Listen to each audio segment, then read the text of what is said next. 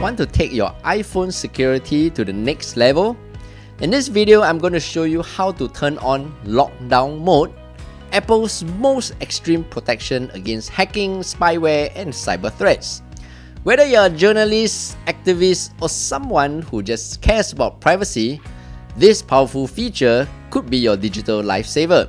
Stick around because by the end of this video, you know exactly how to activate it and why it matters more than ever.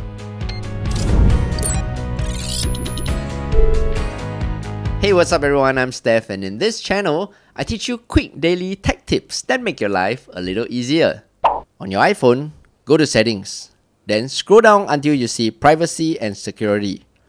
Then scroll all the way down until you see lockdown mode. Tap on it.